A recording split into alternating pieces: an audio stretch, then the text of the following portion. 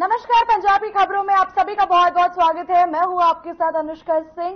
तो चलिए शुरुआत करते हैं खबरों की।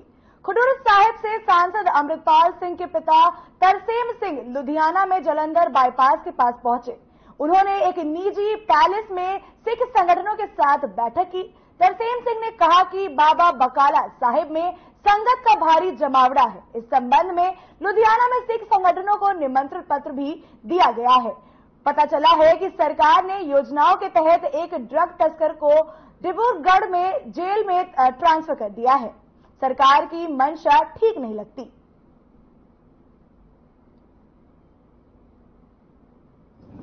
ਤੇ ਦੂਸਰਾ ਅਸੀਂ ਜੋ ਅਮਰਤਪਾਲ ਦੀ ਇਲੈਕਸ਼ਨ 'ਚ ਬਹੁਤ ਵੱਡਾ ਸਾਰੇ ਪੰਜਾਬੀਆਂ ਨੇ ਦੇਸ਼ ਵਿਦੇਸ਼ ਵਾਸੀਆਂ ਸਿੱਖ ਸੰਗਤਾਂ ਨੇ ਬਹੁਤ ਵੱਡਾ ਯੋਗਦਾਨ ਪਾਇਆ ਸੀ ਉਹਦੇ ਵਾਸਤੇ ਲੁਧਿਆਣੇ ਵਾਸੀਆਂ ਦਾ ਵੀ ਬਹੁਤ ਵੱਡਾ ਯੋਗਦਾਨ ਸੀਗਾ ਤੇ ਅਸੀਂ ਸਾਰਿਆਂ ਦਾ ਜਗ੍ਹਾ ਜਗ੍ਹਾ ਜਾ ਕੇ ਉਸ ਇਲੈਕਸ਼ਨ 'ਚ ਉਹਨਾਂ ਦਾ ਹਿੱਸਾ ਪਾਉਣ ਵਾਸਤੇ ਉਹਨਾਂ ਦਾ ਧੰਨਵਾਦ ਕਰ ਰਹੇ ਹਾਂ ਕਿ ਉਹਨਾਂ ਨੇ ਬਹੁਤ ਚੜ੍ਹਦੀ ਕਲਾ ਨਾਲ ਉੱਥੇ ਕੁਝ ਟੀਮਾਂ ਇੱਥੋਂ ਵੀ ਲੁਧਿਆਣੇ ਤੋਂ ਵੀ ਗਈਆਂ ਸੀ ਤੇ ਉਹਨਾਂ ਦਾ ਅਸੀਂ ਧੰਨਵਾਦ ਕਰਨ ਵਾਸਤੇ ਵੀ ਆਏ ਹਾਂ। ਤੇ ਹੋਰ ਜਿਹੜੀ ਅਸੀਂ ਗੁਰ- ਗੁਰੂ, ਆਪਣਾ ਬਾਬਾ ਕਾਲ ਸਾਹਿਬ ਵਿਖੇ ਇੱਕ ਪੰਥਕ ਇਕੱਤਰਤਾ ਕਰ ਰਹੇ ਹਾਂ, ਉਹਦੇ ਵਾਸਤੇ ਇਹਨਾਂ ਨੂੰ ਸੱਦਾ ਪੱਤਰ ਵੀ ਇਹਨਾਂ ਨੂੰ ਬੇਨਤੀ ਕਰਨ ਵਾਸਤੇ ਆਏ ਕਿ ਉੱਥੇ ਤੁਸੀਂ ਵੱਧ ਤੋਂ ਵੱਧ ਪਹੁੰਚੋ। ਤੇ ਹੋਰ ਜਿਹੜੇ ਆਪਣੇ ਇਹ ਮਸਲੇ ਆ, ਉੱਥੇ ਉਹ ਵਿਚਾਰੇ ਜਾਣਗੇ। ਇਹ ਇਹ ਬੇਨਤੀਆਂ ਅਸੀਂ ਇਹਨਾਂ ਨੂੰ ਕਰਨ ਵਾਸਤੇ ਤੇ ਦੂਸਰਾ, ਸ਼੍ਰੋਮਣੀ ਕਮੇਟੀ ਦੀਆਂ ਵੋਟਾਂ ਵਾਸਤੇ ਜਿਹੜੇ ਕਿ ਉਹ ਜੋ ਇਹ ਪ੍ਰਕਿਰਿਆ, ਵੋਟਾਂ ਬਣਾਉਣ ਦੀ ਪ੍ਰਕਿਰਿਆ ਚੱਲ ਰਹੀ ਆ, ਉਹਦੇ ਵਿੱਚ ਸਾਡੀ ਕੌਮ 'ਚ ਬੜੀ ਮੇਰੇ ਖਿਆਲ ਜਾਗਰਤੀ ਦੀ ਘਾਟ ਆ, ਜਾਂ ਅਸੀਂ ਆਪਣਾ ਫਰਜ਼ ਨਹੀਂ ਪਛਾਣ ਰਹੇ। ਉਹ ਤਿੰਨ, ਚਾਰ ਵਾਰੀ ਉਹਦਾ ਜਿਹੜਾ ਮੌਕਾ ਵਧਾਇਆ ਗਿਆ, ਪਰ ਫਿਰ ਵੀ ਬਹੁਤ ਘੱਟ ਗਿਣਤੀ 'ਚ ਵੋਟਾਂ ਬਣੀਆਂ ਅਜੇ ਤੱਕ। ਤੋਂ ਕੁਛ ਅਸੀਂ 30 31 ਤਰੀਕ ਨੂੰ ਇੱਕ ਵਫਦ ਭੇਜਿਆ ਸੀ ਗੁਰਦੁਆਰਾ ਚੋਣ ਕਮਿਸ਼ਨ ਕੋਲ ਕਿ ਤੁਸੀਂ ਇਹਦਾ ਸਮਾਂ ਹੋਰ ਵਧਾਓ। ਤੇ ਉਹਨਾਂ ਡੇਢ ਮਹੀਨੇ ਦਾ ਸਮਾਂ ਸਾਨੂੰ ਹੋਰ ਵਧਾਇਆ ਵਾ। ਤੇ ਇਸ ਕਰਕੇ ਅਸੀਂ ਚਾਹੁੰਦੇ ਹਾਂ ਕਿ ਅਸੀਂ ਇੱਕ ਅਪੀਲ ਕਰਦੇ ਹਾਂ ਤੁਹਾਡੇ ਮਾਧਿਅਮ ਰਾਹੀਂ ਵੀ ਕਿ ਸਾਰੇ ਜਾਣੇ ਆਪੋ ਆਪਣੀ ਜ਼ਿੰਮੇਵਾਰੀ ਸਮਝ ਕੇ ਇਹ ਜਿਹੜੇ ਸ਼੍ਰੋਮਣੀ ਕਮੇਟੀ ਦੀ ਵੋਟ ਆ, ਉਹ ਜਿਹੜਾ ਵੀ ਯੋਗ ਵਿਅਕਤੀ, ਜਿਹੜਾ ਵੀ ਉਹ ਸ਼ਰਤਾਂ ਪੂਰੀਆਂ ਕਰਦਾ, ਹਰੇਕ ਦੀ ਬਣੀ, ਉਹ ਕੋਈ ਉਹ ਤੋਂ ਵਾਂਝਾ ਨਾ ਰਵੇ। ਇਸ ਕਰਕੇ ਅਸੀਂ ਸਾਰੇ ਸਿੱਖ ਸੰਤਾਂ ਨੂੰ ਅਪੀਲ ਕਰਦੇ ਹਾਂ ਮੋਦਵਾਰਾਂ ਨੂੰ ਅਪੀਲ ਕਰਦੇ ਹਾਂ ਹੋਰ ਆਗੂਆਂ ਨੂੰ ਅਪੀਲ ਕਰਦੇ ਹਾਂ ਕਿ ਤੁਸੀਂ ਸਾਰੇ ਜਣੇ ਵੱਧ ਤੋਂ ਵੱਧ ਇਹ 'ਚ ਆਪ ਜ਼ਿੰਮੇਵਾਰੀ ਸਮਝ ਕੇ ਹਰੇਕ ਘਰ ਤੱਕ ਪਹੁੰਚ ਕਰਕੇ ਹਰੇਕ ਸਿੱਖ ਗੁਰਸਿੱਖ ਤੱਕ ਪਹੁੰਚ ਕਰਕੇ ਉਹ ਵੋਟ ਬਣਾਈ ਜਾਵੇ। ਇਹ ਇਹ ਅਸੀਂ ਅਪੀਲ ਬੇਨਤੀ ਕਰਨ ਵਾਸਤੇ। ਹਾਂਜੀ ਇਹ ਜਿਹੜਾ ਅਸੀਂ ਇਕੱਠ ਸੱਦਿਆ ਉਹਦੇ ਚ ਅਸੀਂ ਬੰਦੀ ਸਿੰਘਾਂ ਦਾ ਮਸਲਾ ਵਾ। ਸਾਡੇ ਬੇਅਦਬੀਆਂ ਦੇ ਮਾਮਲੇ ਜਿਹੜੇ ਆ ਉਹਨਾਂ ਨੂੰ ਮੇਰੇ ਖਿਆਲ ਸਾਨੂੰ ਬਹੁਤ ਸਮਾਂ ਹੋ ਗਿਆ ਦੋ ਤਿੰਨ ਸਰਕਾਰਾਂ ਵੀ ਇਹਨਾਂ ਚੀਜ਼ਾਂ ਤੇ ਬਣ ਗਈਆਂ। ਪਰ ਕੋਈ ਲੱਗਦਾ ਨਹੀਂ ਕਿ ਸਰਕਾਰ ਉਹਦੇ ਵਾਸਤੇ ਸਿਰ ਤੇ ਆ। ਉਹ ਜਿਹੜੇ ਕੁਝ ਮਸਲੇ ਤੇ ਇੱਥੋਂ ਟਰਾਂਸਫਰ ਕਰਕੇ ਚੰਡੀਗੜ੍ਹ ਜਾਂ ਹੋਰ ਕਿਤੇ ਲਿਜਾਏ ਜਾ ਰਹੇ ਆ ਕਿ ਉਹਨਾਂ ਨੂੰ ਮੇਰਾ ਖਿਆਲ ਹੈ ਕਿ ਖਤਮ ਕਰਨ ਦੀ ਜਿਹੜੀ ਸਾਜ਼ਿਸ਼ ਆ ਉਹ ਹੋ ਰਹੀ ਹੈ। ਦੂਸਰਾ, ਬੰਦੀ ਸਿੰਘਾਂ ਦਾ ਮਾਮਲਾ ਵੀ ਉਹ ਵੀ ਉਹਨਾਂ ਨੇ ਡਬਲ ਟਰਬਲ ਸਜ਼ਾਵਾਂ ਭੁਗਤ ਲਈਆਂ ਤੇ ਉਹਨਾਂ ਵਾਸਤੇ ਕੋਈ ਉਹਨਾਂ ਨੂੰ ਕੋਈ ਪਰੋਲ ਕੋਈ ਰਾਹਤ ਨਹੀਂ ਦਿੱਤੀ ਜਾ ਰਹੀ। ਤੇ ਦੂਸਰਾ, ਦੇਖੋ ਜੀ, ਉਹਦੇ ਅਪੈਰਲ ਰਾਮ ਰਹੀਮ ਨੂੰ ਹਰ 2 ਮਹੀਨਿਆਂ ਬਾਅਦ, ਮਹੀਨੇ ਬਾਅਦ ਫਿਰ ਉਹਨੂੰ ਬਹੁਤ ਲੰਮਾ ਟਾਈਮ ਇਹ ਪਰੋਲ ਦਿੱਤੀ ਜਾ ਰਹੀ ਆ। ਇਹ ਮੇਰੇ ਖਿਆਲ ਇੱਕ ਦੇਸ਼ ਦੋ ਤਰ੍ਹਾਂ ਦੇ ਕਾਨੂੰਨ ਚੱਲ ਰਹੇ ਆ। ਸਾਡੇ ਕਿਸਾਨਾਂ ਦੀ ਕੋਈ ਗੱਲ ਨਹੀਂ ਸੁਣੀ ਜਾ ਰਹੀ। ਉਹ ਬਾਰਡਰਾਂ ਤੇ ਬੈਠੇ ਆ। ਉਦੋਂ ਵੀ 700 ਕਿਸਾਨ ਸ਼ਹੀਦ ਹੋਇਆ ਪਹਿਲਾਂ ਵੀ, ਹੁਣ ਵੀ ਕੁਝ ਬੰਦੇ ਸ਼ਹੀਦ ਹੋ ਗਏ ਆ। ਕੁਝ ਸ਼ੁਭ ਕਰਨ ਜਾਂ ਸ਼ੁਭਦੀਪ ਜਿਹੜਾ ਉਹ ਉਹ ਵੀ ਸ਼ਹੀਦ ਹੋਇਆ ਹੋਰ ਵੀ ਤੇ ਇਹ ਬਹੁਤ ਸਾਡੀ ਕਿਤੇ ਵੀ ਸੁਣਵਾਈ ਨਹੀਂ, ਕੋਈ ਸਰਕਾਰ ਸਿਰਦ ਨਹੀਂ। ਹੁਣ ਨਵੀਆਂ ਸਰਕਾਰਾਂ ਵੀ, ਨਵੀਂ ਸਰਕਾਰ ਵੀ ਬਣ ਗਈ ਸੈਂਟਰ 'ਚ ਤੇ ਅਜੇ ਤੱਕ ਵੀ ਕੋਈ ਮਸਲੇ ਦਾ ਕਿਸੇ ਦਾ ਹੱਲ ਨਹੀਂ ਹੋ ਰਿਹਾ। ਇਸ ਕਰਕੇ ਅਸੀਂ ਸਾਰੇ ਉੱਥੇ ਪੰਥ ਨੂੰ, ਸਾਰੀਆਂ ਜਥੇਬੰਦੀਆਂ ਨੂੰ, ਸਾਰਿਆਂ ਨੂੰ ਅਸੀਂ ਅਪੀਲ ਕਰਦੇ ਹਾਂ ਕਿ ਉੱਥੇ ਵੱਧ ਤੋਂ ਵੱਧ ਪਹੁੰਚੋ ਤੇ ਉੱਥੇ ਆਪਾਂ ਆਉਣ ਵਾਲੇ ਸਮੇਂ ਲਈ ਜਿਹੜੀ ਕੋਈ ਰਣਨੀਤੀ, ਕੋਈ ਵਿਚਾਰ ਕਰ ਸਕੀਏ ਤੇ ਇਹਨਾਂ ਬੰਦੀ ਸਿੰਘਾਂ ਵਾਸਤੇ ਜਾਂ ਬੇਅਦਬੀ ਦੇ ਮਾਮਲੇ, ਜੋ ਵੀ ਸਾਡੇ ਮਸਲੇ ਆ, ਉਹਨਾਂ ਨੂੰ ਅਸੀਂ ਵਿਚਾਰੀਏ ਤੇ ਆਉਣ ਵਾਲੇ ਸਮੇਂ ਲਈ ਕੋਈ ਕੀ ਰਸਤਾ ਅਪਣਾਉਣਾ ਚਾਹੀਦਾ ਉਹ?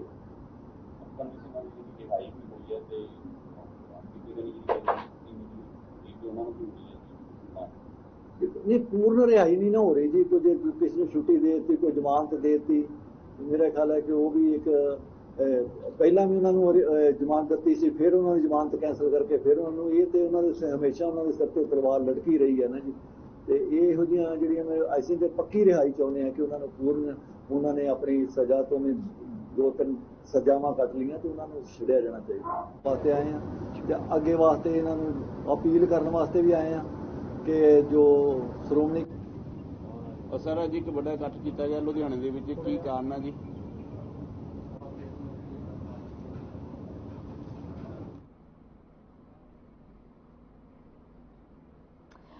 पुलिस को बड़ी सफलता मिली है। पुलिस ने मास्टरमाइंड सुनील भंडारी नाटा सहित पाँच लोगों को गिरफ़्तार किया है। आरोपी तीन हत्याओं सहित जघन अपराधों के कई मामलों में वंचित थे। पुलिस ने 40 ज़िंदा कारतूस के साथ पाँच पिस्तौल और दो वाहन बरामद किए हैं।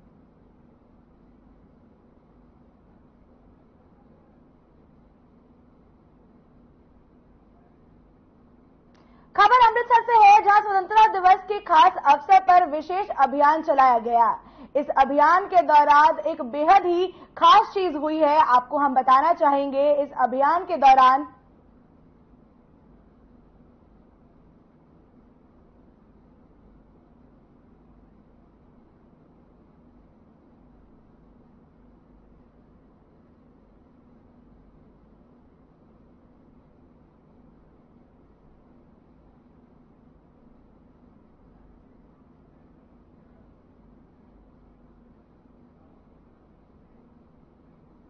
खबर अमृतसर से है, जहाँ स्वतंत्रता दिवस के खास अवसर पर विशेष अभियान चलाया गया।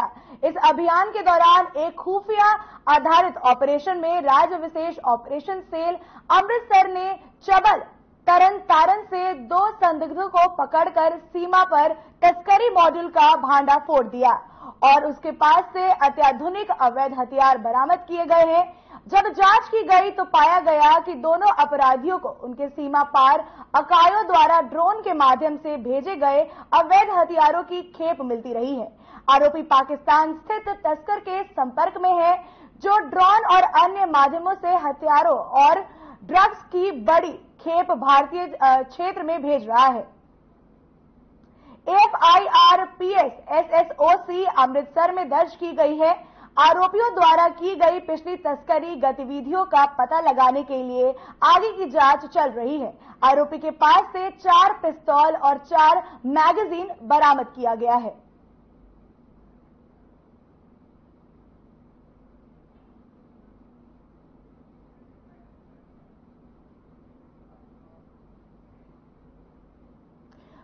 फरीदकोट के आरा मार्केट में एक युवक ने अपनी ही बाइक को सड़क के बीच रखकर आग लगा दी जिससे आसपास के इलाके में अफरा तफरी मच गई क्योंकि पास में लकड़ी के होने के कारण कोई भी हादसा हो सकता था। बता दें कि आग लगने वा, लगाने वाले नौजवान ने उनकी जगह पर जबरन कब्जा करने की बात कही। लेकिन दूसरी ओर मालिक ने सभी आरोपों से इनकार कर दिया। सूचना मिलने पर पुलिस मौके पर पहुँची और बाइक में आग लगाने वाले युवक को गिरफ़्तार कर लिया। इस मौके पर आरा मनलिक ने बाइक सवार के आरोपों पर सफ़ाई देते हुए कहा कि इस लड़के के पास कुछ ज़मीन थी, जो उसकी बहनों के नाम पर थी और उन्होंने ये ज़मीन हमें बेच दी, जिसका सारा रिकॉर्ड हमारे पास है। साथ ही उन्होंने कहा कि ये युवक नशा करने का आदि है, इसे जानबूझकर हमें धमकाता रहता है, जिसकी शिकायत वह पहले भी पुलिस से कर चुके हैं। वहीं इस मौके पर पुलिस ने घटना की जानकारी देते हुए कहा कि बाइक बुरी तरह जल गई है और कोई जनहानि नहीं हुई है। बाकी सभी मुद्दों पर जाँच की जाएगी। ਵੀਰੇ ਅਸੀਂ ਨਾ ਆਪ- ਸਾਡੀ ਮਾਰਕੀਟ ਆ ਯਾਰਾ ਮਾਰਕੀਟ ਇੱਕ ਇੱਕ ਕਾਲੀ ਮੁੰਡਾ ਨਾ ਨਸ਼ੇ ਕਰਦਾ, ਇੱਥੇ ਚਿੱਟੇ ਦਾ ਅੱਡਾ ਇਹਨੇ ਬਣਾਇਆ ਹੋਇਆ ਸੀਗਾ। ਸਾਰੀ ਮਾਰਕੀਟ ਨੂੰ ਪਤਾ ਇਸ ਗੱਲ ਦਾ। ਤੇ ਇਨ- ਇਹਦਾ ਕੋਈ ਰੋਲਾ ਸੀਗਾ ਇਹਦੀਆਂ ਭੈਣਾਂ ਨਾਲ, ਜਗ੍ਹਾ ਦਾ। ਵੀ ਉਹ ਉਹ ਜਗ੍ਹਾ ਅਸੀਂ ਜਾਣੀ ਇਹਨਾਂ ਤੋਂ ਲੈ ਲਈ ਹੈ ਉਹਦੀਆਂ ਕੁੜੀਆਂ ਤੋਂ ਅਸੀਂ ਲੈ- ਖਰੀਦ ਲਈ ਸੀ ਜੀ। ਤੇ ਹੁਣ ਇਹ ਨਸ਼ੇੜੀ ਬੰਦਾ ਆ, ਸਾਰਿਆਂ ਨੂੰ ਪਤਾ ਐਸਐਚਓ ਸਾਹਿਬ ਨੂੰ ਵੀ ਪਤਾ ਇਸ ਗੱਲ ਦਾ। ਐਸਐਚਓ ਸਾਹਿਬ ਨੇ ਅੱਗੇ ਵੀ ਗੱਲ ਕੀਤੀ ਹੋਈ ਹੈ ਵੀ ਇਹ ਬੰਦਾ ਨਸ਼ੇੜੀ ਹੈ। ਵੀ ਇਹ ਕੋਈ ਨਾ ਕੋਈ ਤੁਹਾਡੇ ਨਾਲ ਹਰਕਤ ਕਰੂਗਾ ਤੇ ਅੱਜ ਉਹਨੇ ਕਰਤੀ। ਉੱਤੋਂ 15 ਅਗਸਤ ਦਾ ਟਾਈਮ ਹੈ ਤੇ ਇਹਨੇ ਹਰਕਤ ਵੀ ਉਹੋ ਜਿਹੇ ਟਾਈਮ ਤੇ ਕੀਤੀ ਆ ਵੀ ਜਿਹੜਾ ਵੀ ਬਹੁਤ ਹੀ ਗਲਤ ਸਮੇਂ ਤੇ ਕੀਤੀ ਹੈ ਹਰਕਤ। ਤੇ ਗੱਲ ਕੁਝ ਵੀ ਨਹੀਂ ਐਸਐਚਓ ਸਾਹਿਬ ਨੂੰ ਸਾਰੀ ਖਬਰ ਆ ਵੀ ਇਹਨੇ ਵਾਰਦਾਤ ਕਰਨੀ ਕਰਨੀ ਆ ਸਾਡੇ ਬਹੁਤ ਕਹਿਣ ਦੇ ਬਾਵਜੂਦ ਵੀ ਨਾ ਇਹ ਹਟੇ ਨਹੀਂ ਤੇ ਨਾ ਹੀ ਉਹਨੂੰ ਇਹਨਾਂ ਨੇ ਗ੍ਰਿਫਤਾਰ ਕੀਤਾ। ਜਿਹੜੇ ਮੋਟਰਸਾਈਕਲ ਨੂੰ ਉਹਨੇ ਅੱਗ ਲਾਈ ਆ, ਉਹ ਮੋਟਰਸਾਈਕਲ ਕਿਹਦਾ ਉਹ ਇਹਦੇ ਭਾਂਜੇ ਦਾ ਸੀਗਾ ਇਹ ਦੋਨੋਂ ਆਏ ਮਾਮਾ ਭਾਂਜੇ ਇੱਥੇ ਆਏ ਆ ਦੋਵੇਂ। ਮਾਮਾ ਭਾਂਜੇ ਇੱਥੇ ਆਏ ਆ ਤੇ ਆ ਕੇ ਇਹਨਾਂ ਨੇ ਅੱਗ ਲਾਈ ਇਸ਼ੂ ਇਸ਼ੂ ਬਣਾਇਆ ਜੀ। ਗੱਲ ਨੂੰ ਇਸ਼ੂ ਬਣਾਇਆ ਬਸ ਹੋਰ ਕੁਝ ਨਹੀਂ ਗਈ ਉਹ ਇਲਜ਼ਾਮ ਲਾ ਰਿਹਾ ਕਹਿੰਦਾ ਮੇਰੇ ਜਿਹੜਾ ਆਰੇ ਤੇ ਧੱਕੇ ਨਾਲ ਕਬਜ਼ਾ ਕੀਤਾ ਗਿਆ। ਹੈ। ਉਹ ਮੈਂ ਤੁਹਾਨੂੰ ਦੱਸਤਾ ਜੀ ਉਹ ਸਾਡੇ ਕੋਲ ਸਾਰੇ ਕਾਗਜ਼ ਆ ਜੀ ਸਾਡਾ ਕੋਲ proof ਸਾਰਾ ਕੁਝ ਹੈਗਾ ਆ। ਸਾਨੂੰ ਇਤਲਾਹ ਮਿਲੀ ਸੀ ਕਿ ਆਰਾ ਮਾਰਕੀਟ ਦੇ ਵਿੱਚ ਕੋਈ ਅੱਗ ਲੱਗੀ ਹੋਈ ਹੈ ਅਸੀਂ ਮੌਕੇ ਤੇ ਪਹੁੰਚੇ ਆ ਆ ਕੇ ਇਹਦੀ ਜਾਂਚ ਕਰ ਰਹੇ ਆ ਪਤਾ ਕਰ ਰਹੇ ਆ ਵੀ ਇਹਦਾ ਕੀ ਕਾਰਨ ਬਣਿਆ ਮੋਟਰਸਾਈਕਲ ਬਿਲਕੁਲ ਸੜਿਆ ਹੋਇਆ ਹੈ। ਇਹ ਕੌਣ ਸੀ? ਲੋਕ ਕੌਣ ਆਏ? ਆਪ ਦੀ ਕੋਈ ਇਹਨਾਂ ਦੇ ਸਾਕ ਸੰਬੰਧੀ ਹੈ ਜਾਂ ਕੌਣ ਬੰਦੇ ਆ ਇਹ? ਅਸੀਂ ਇਹ ਪਹੁੰਚੇ ਆ ਮੌਕੇ ਤੇ ਗੱਲਬਾਤ ਕਰ ਰਹੇ ਆ ਜਿਨ੍ਹਾਂ ਦਾ ਆਰਾ ਆਰਾ ਮਾਲਕ ਵੀ ਇੱਥੇ ਮੌਕੇ ਤੇ ਪਹੁੰਚੇ ਆ ਇਹਨਾਂ ਨਾਲ ਗੱਲਬਾਤ ਕਰਕੇ ਅਗਲੀ ਕਾਰਵਾਈ ਸ਼ੁਰੂ ਕਰ ਰਹੇ ਹਾਂ। ਜਿਹੜੀ ਅੱਗ ਲੱਗੀ ਹੈ ਉਹਦੇ ਵਿੱਚ ਕੀ ਕੀ ਨੁਕਸਾਨ ਹੋਇਆ ਹੈ? ਮੋਟਰਸਾਈਕਲ ਦਾ ਨੁਕਸਾਨ ਹੋਇਆ। ਕੋਈ ਜਾਨੀ?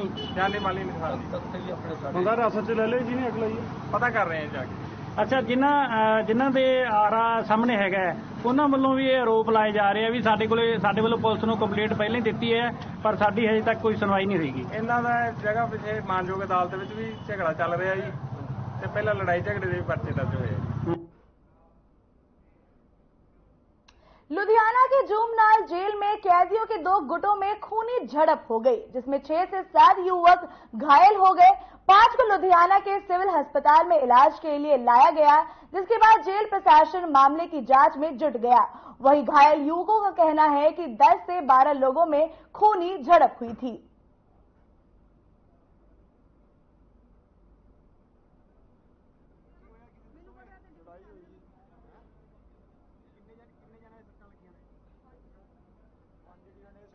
ਮੈਂ ਨਾ ਉੱਥੇ ਮਿਲਣ ਗਈ ਸੀ ਆਪਣੇ ਬੇਟੇ ਦੀ ਮੁਲਾਕਾਤ ਕਰਨ ਗਈ ਸੀ। ਕਿੱਥੇ? ਇਹ ਨਹਿਰ ਤੇ ਜਿਹੜਾ ਨਹਿਰ ਤੇ ਹਾਂਜੀ। ਕਿਹੜੀ ਜੇਲ੍ਹ ਅਹ ਸ਼ਿਮਲਾਪੁਰੀ ਨਹਿਰ ਦੀ ਬੱਚਾ। ਉੱਥੇ ਮਿਲਣ ਵਾਸਤੇ ਗਈ ਹਾਂ ਤਾਂ ਕਹਿੰਦੇ ਸਵੇਰ ਦੀ ਲੜਾਈ ਲੜੀ ਹੋਈ ਹੀ ਹੈ ਅੱਛਾ ਜੀ। ਤੇ ਉਹਦੇ ਕਰਕੇ ਬੱਚੇ ਬੱਚੇ ਲੜੇ ਨੇ। ਮੈਂ ਕਿਹਾ ਭੀੜ ਭੜੱਕਾ ਪਤਾ ਨਹੀਂ ਕਿਉਂ ਲੱਗਾ ਹੋਇਆ ਵੇ। ਅੱਛਾ। ਤੇ ਜਦੋਂ ਵੇਖਿਆ ਤਾਂ ਕਹਿੰਦੀ ਤੁਸੀਂ ਕੋਈ ਗੱਲ ਨਹੀਂ ਤੁਸੀਂ ਅੱਜ ਨਾ ਮਿਲੋ ਤੁਸੀਂ ਸਮਾਨ ਦੇ ਜਾਓ। ਅੱਛਾ ਜੀ। ਤੁਹਾਡਾ ਬੇਟਾ ਵੀ ਨਾਲ ਹੀ ਗਿਆ ਵੇ। ਤੇ ਤੁਸੀਂ ਮਿਲੋ ਮੈਂ ਬਾਹਰੋਂ ਬਾਹਰ 40 ਰੁਪਏ ਦਾ ਆਟੋ ਕਰਕੇ ਮੈਂ ਸਿੱਧਾ ਇੱਥੇ ਆਈ ਹਾਂ ਵਿੱਚ ਮੇਰਾ ਬੇਟਾ ਨਹੀਂ ਹੈਗਾ। ਇਹ ਪੰਜ ਮੁੰਡੇ ਜਿਹੜੇ ਅੰਮ੍ਰਿਤਸਰ ਵਾਲੇ ਮੁੰਡੇ ਨੇ ਨਾ ਉਹਨਾਂ ਦੇ ਨਾਲ ਲੜਾਈ ਹੋਈ ਹੈ ਉਹਨਾਂ ਦੀ ਸਾਰਿਆਂ ਦੀ ਅੱਛਾ ਜੀ ਮੈਂ ਉੱਥੇ ਬਾਰ-ਬਾਰ ਮਿਲ ਕੇ ਆਈ, ਵਿੱਚ ਮੇਰਾ ਮੁੰਡਾ ਇੱਧਰ ਵੀ ਨਹੀਂ ਮੈਨੂੰ ਮਿਲਿਆ ਮੈਨੂੰ ਘਰ ਵੀ ਨਹੀਂ ਮਿਲਿਆ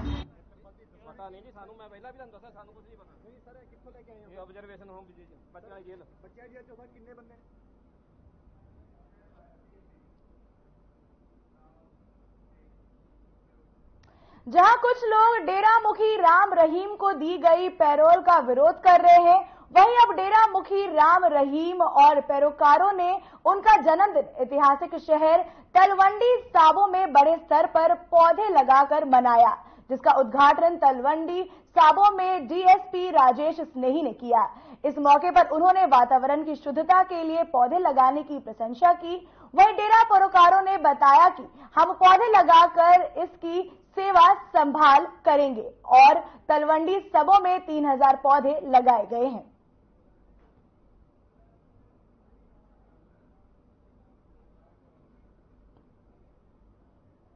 ਇਹ ਪ੍ਰੇਮੀ ਸਮਾਜ ਤਲਵੰਡੀ ਸਾਬੋ ਦੇ ਜਿਹੜੇ ਹੈਗੇ ਆ, ਅਹ, ਨੁਮਾਇੰਦਿਆਂ ਵੱਲੋਂ ਤੇ ਲੋਕਾਂ ਵੱਲੋਂ ਜਿਹੜਾ ਹੈਗਾ, ਅੱਜ ਰੁੱਖ ਜਿਹੜੇ ਹੈਗੇ ਆ ਲਗਾਏ ਗਏ ਸੀਗੇ।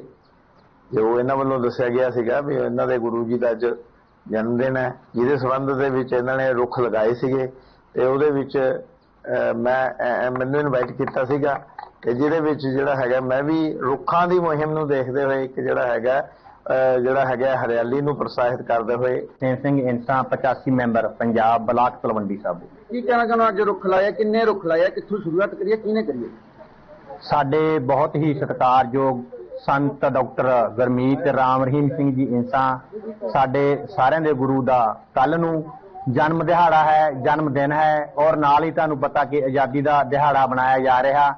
ਉਸ ਦੀ ਖੁਸ਼ੀ ਦੇ ਵਿੱਚ ਡੇਰਾ ਚੱਚਾ ਦੀ ਸਾਧ ਸੰਗਤ ਵੱਲੋਂ ਰੁੱਖ ਲਗਾਏ ਜਾ ਰਹੇ ਹਨ, ਤਾਂ ਜੋ ਕਿ ਬਹੁਤ ਹੀ ਵਧੀਆ ਸ਼ਲਾਘਾਯੋਗ ਕਰਮ ਸਾਧ ਕਰ ਰਹੀ ਹੈ ਜੀ। ਅੱਜ ਤਲਵੰਡੀ ਸਾਬੋ ਬਲਾਕ ਵੱਲੋਂ ਲਗਭਗ 3000 ਰੁੱਖ ਸਾਡੇ ਆਲੇ ਦੁਆਲੇ ਜੋ 30 ਪਿੰਡ ਇਸ ਬਲਾਕ ਦੇ ਵਿੱਚ ਪੈਂਦੇ ਆ, ਇੱਥੇ ਲਗਾਏ ਜਾ ਰਹੇ ਆ। ਸਾਡੇ ਐਮਏ ਜੀ ਦਾ ਜਨਮ ਦਿਹਾੜਾ ਜੋ ਕੱਲ ਨੂੰ ਹੈ, ਉਸ ਦੇ ਸਬੰਧ ਦੇ ਵਿੱਚ ਹਰ ਸਾਲ ਸਾਡੀ ਸਾਧ ਸੰਗਤ ਵੱਲੋਂ ਰੁੱਖ ਲਾਏ ਜਾਂਦੇ ਆ, ਤਾਂ ਕਿ ਜੋ ਆਪਣਾ ਵਾਤਾਵਰਨ ਉਹਨੂੰ ਸ਼ੁੱਧ ਕੀਤਾ ਜਾ ਸਕੇ। ਅਸੀਂ ਸਾਡੇ ਸਤਿਗੁਰ ਦਾ ਜਨਮ ਦਿਹਾੜਾ ਰੁੱਖ ਲਾ ਕੇ ਮਨਾਉਂਦੇ ਆ ਔਰ ਇੱਥੇ ਹੀ ਨਹੀਂ, ਪੂਰੇ ਵਰਲਡ ਦੇ ਵਿੱਚ ਜਿੱਥੇ ਜਿੱਥੇ ਵੀ ਸਾਡੀ ਸਾਰੀ ਸਾਧ ਸੰਗਤ ਹੈ, ਉੱਥੇ ਹੀ ਸਾਰੇ ਅੱਜ ਰੁੱਖ ਲਗਾਏ ਜਾ ਰਹੇ ਆ ਜੀ ਦੇਖੋ, ਵੈਸੇ ਤਾਂ ਕੱਲ 15 ਅਗਸਤ ਹੈ।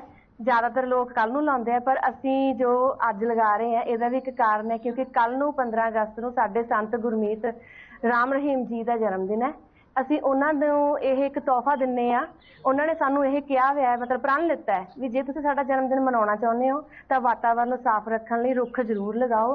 ਅਸੀਂ ਰੁੱਖ ਲਗਾਉਂਦੇ ਆ ਸਾਰੀ ਸਾਧ ਸੰਗਤ ਇਹ ਰੁੱਖ ਲਗਾਉਂਦੇ ਆ ਲੱਖਾਂ ਦੀ ਗਿਣਤੀ ਵਿੱਚ ਅੱਜ ਦੇ ਦਿਨ ਇਹ ਰੁੱਖ ਲੱਗਣਗੇ। ਤੇ ਅਸੀਂ ਆਈ ਨਹੀਂ ਹੈਗਾ ਵੀ ਰੁੱਖ ਲਗਾ ਕੇ ਛੱਡ ਦਾਂਗੇ। ਉਹਨਾਂ ਦੀ ਪੂਰਾ ਸਾਲ ਦੇਖਭਾਲ ਵੀ ਕਰਦੇ ਆ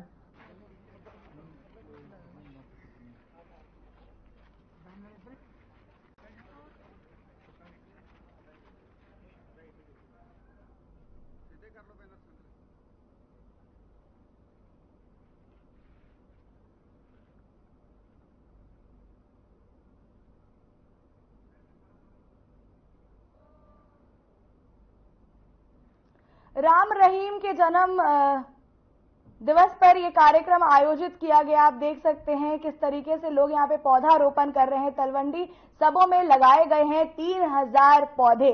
डीएसपी ने किया तलवंडी सबों में सबों में उद्घाटन। आप देख सकते हैं लोग कैसे गड्ढे खोद कर यहाँ पे पौधा लगा रहे हैं। तीन हज़ार के करीब यहाँ पे पौधे लगाए गए हैं राम रहीम के जन्मदिन पर।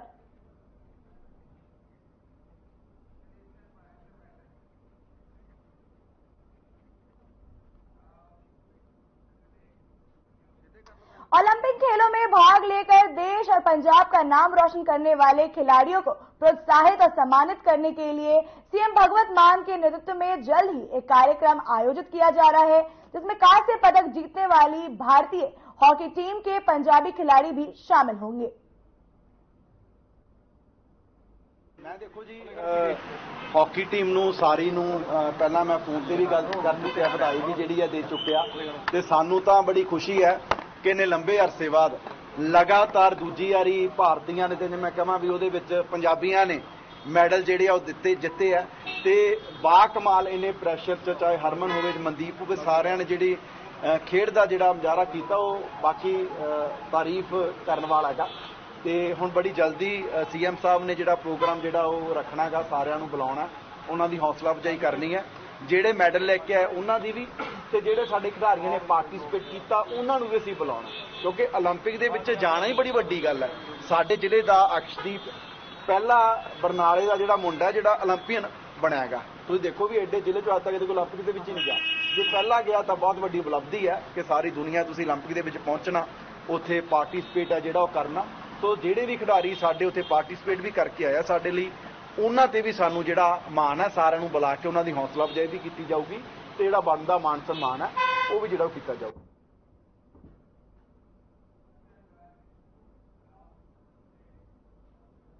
पंद्रह अगस्त को लेकर पटियाला पुलिस की ओर से फ्लैग मार्च निकाला गया आपको बता दें कि एसएसपी डॉक्टर नायक सिंह के नेतृत्व में पुलिस ने पूरे शहर में फ्लैग मार्च निकाला जिसमें बड़ी संख्या में डीएसपी थानेदार और पुलिसकर्मी मौजूद रहे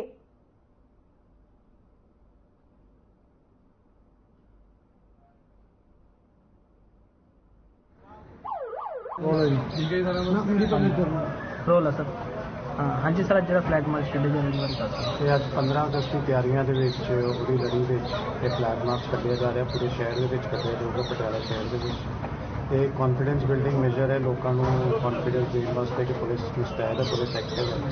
ਤੇ ਕੋਈ ਵੀ ਇਹੋ ਜਿਹੀ ਜਿਹੜੀ ਇਨਫੋਰਮੇਸ਼ਨ ਹੈ, ਉਹ ਪੁਲਿਸ ਨਾਲ ਸ਼ੇਅਰ ਕਰਨ ਕੋਈ ਸ਼ੱਕੀ ਵਸਤੂ ਜਾਂ ਸ਼ੱਕੀ ਬੰਦੇ ਬਾਰੇ ਜੇ ਕੋਈ ਇਨਫੋਰਮੇਸ਼ਨ ਮਿਲੀ ਉਹ ਪੁਲਿਸ ਦੇ ਸਾਹਮਣੇ ਲਿਆਉਣ ਤਾਂ ਜੋ ਉਹਨਾਂ ਤੇ ਕਾਰਵਾਈ ਕੀਤੀ ਜਾ ਸਕੇ ਉਹਨਾਂ ਦੇ ਖਿਲਾਫ ਐਕਸ਼ਨ ਲਿਆ ਜਾ ਸਕੇ। ਤੇ ਸਾਡੇ ਆਪਰੇਸ਼ਨ ਆਲਮੋਸਟ ਪਿਛਲੇ ਇੱਕ ਹਫ਼ਤੇ ਤੋਂ ਚੱਲ ਰਹੇ ਆ ਅਲੱਗ-ਅਲੱਗ ਤਰ੍ਹਾਂ ਦੇ। ਉਸ ਆਪਰੇਸ਼ਨਸ ਨੂੰ ਅੱਜ ਫਲੈਗ ਮਾਰਚ ਦੇ ਨਾਲ ਕਨਵੀਨੈਂਟ ਕੀਤਾ ਜਾ ਰਿਹਾ ਤਾਂ ਕਿ ਜਿਹੜੀ 15 ਅਗਸਤ ਜਿਵੇਂ ਪਹਿਲਾਂ ਦੱਸਿਆ ਉਹ ਇਨਸੀਡੈਂਟ ਫ੍ਰੀ ਅਸੀਂ ਕਰਾ ਸਕੀਏ।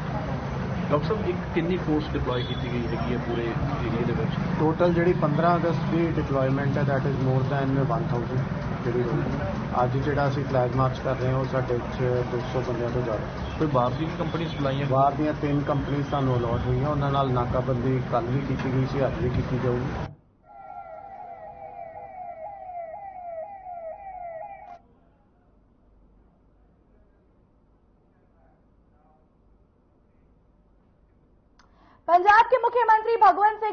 ने केंद्रीय सड़क परिवहन और राष्ट्रीय राजमार्ग मंत्री नितिन गडकरी को पत्र लिखा है।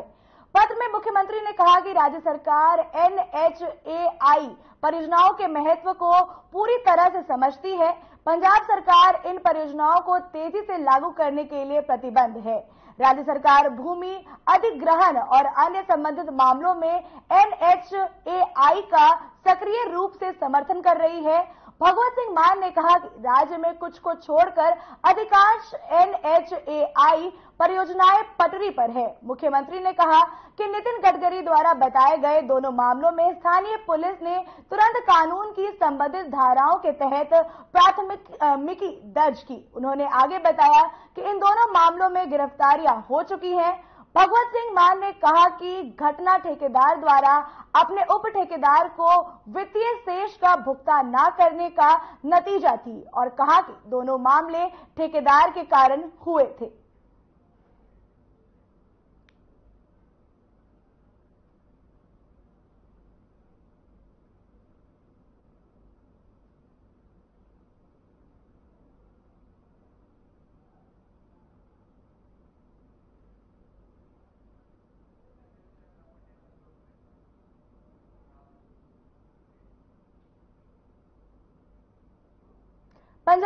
पंजाब यूनिवर्सिटी पटियाला के guest faculty teachers VC office की बिल्डिंग की छत पर चढ़ गए। पिछले 23 दिन से मांगों को लेकर दीन दफ्तर के बाहर धरना दे रहे थे। टीचर्स आज परेशान होकर वीसी ऑफ़िस पहुँच गए। मंगलवार को वाइस चांसलर ऑफ़िस पहुँचे। इन टीचर्स ने वाइस चांसलर पर मनमर्जी के आरोप लगाते हुए रोष प्रदर्शन किया। इसके बाद कोई बातचीत न होने पर नाराज़ होकर ये टीचर्स छत पर चढ़ गए।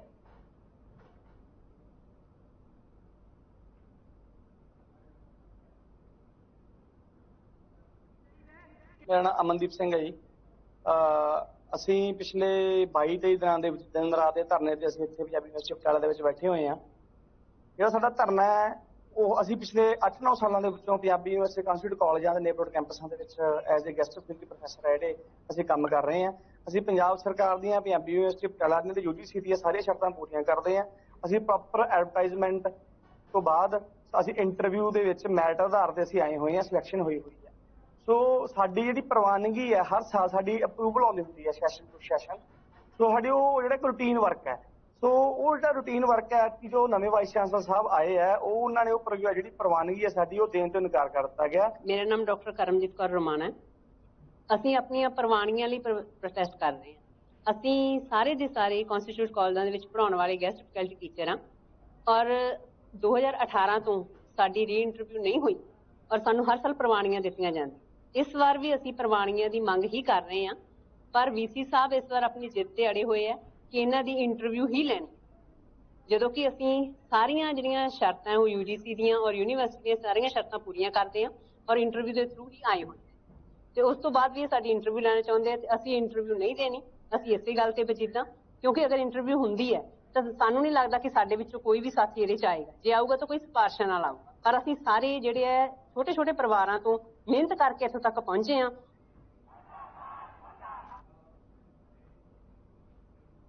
पंजाब के नए गवर्नर गुलाब चंद कटारिया ने पद संभालते ही सक्रियता दिखानी शुरू कर दी है खासतौर पर नेशनल हाईवे के प्रोजेक्ट के लिए भूमि अधिग्रहण को लेकर जो दिक्कतें आ रही हैं उसकी भी राज्यपाल से समीक्षा की है।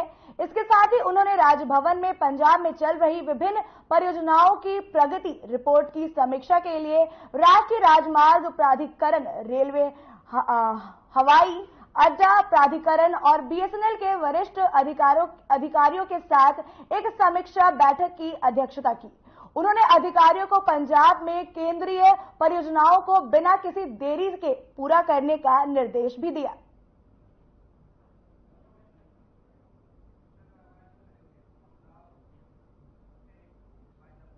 इस बुलेटिन में फिलहाल इतना ही नमस्कार